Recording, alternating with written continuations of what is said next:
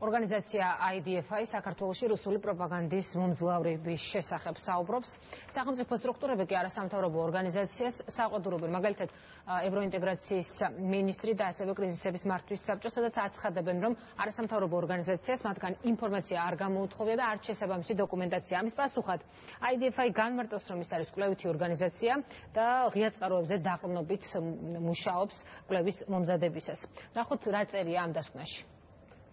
კრემლის საინფორმაციო ომი ოფიციალურად განისაზღვროს საფრთხედ რვა რეკომენდაციიდან ეს ერთ-ერთია, რომელსაც ინფორმაციის განვითარების თავისუფლების ინსტიტუტი სახელმწიფოსაგან მოითხოვს. 2013 წლიდან გაზრდილმა რუსულმა პროპაგანდამ შესაძლოა ევროატლანტიკურ კურსს საფრთხე შეუქმნას. პრესების მართვის საბჭო, რომელიც არის პრინციპში პოლიტიკის გამტარებელი უსაფრთხოების კუთხით და სუსი სახელმწიფო უსაფრთხოების სამსახური არც მათ ანგარიშებში, მათ გამოსვლებში არსად არ ფიქსირდება პროპაგანდა საინფორმაციო როგორც რეალური საფრთხე. ორგანიზაციის კრიტიკას დღეს სახელმწიფო უსაფრთხოების სამსახურში არ უპასუხეს, თუმცა სხვა სამთავრობო უწყებები ამტკიცებენ, რომ კრემლის საინფორმაციო ომს ხელისუფლება შესაბამისად გაწერილ დოკუმენტებს უპირისპირებს და თავრობას პროპაგანდასთან ბრძოლის პოლიტიკას შემუშავებული აქვს.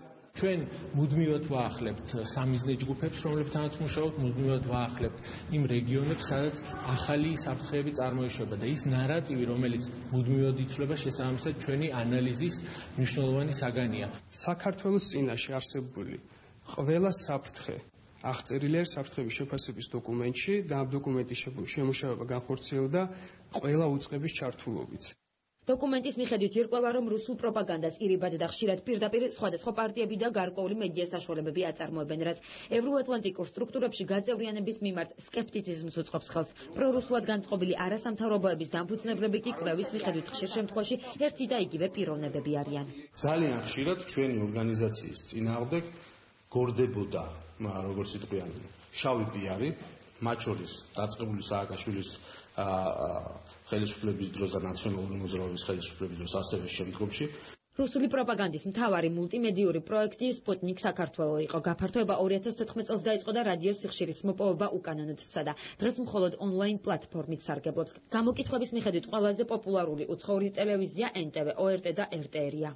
კანონი უნდა იყოს მორგებული სწორედ საქართველოს ინტერესებს და მისი ეროვნული უსაფრთხოების ინტერესებს და აქედან გამომდინარე რასაკვირველია უნდა იყემძღვანელოს საქართველოს ყველა მოქალაქე მათ შორის მედიამაც.